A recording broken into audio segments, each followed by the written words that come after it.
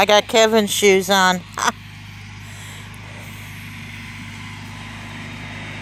Here he comes.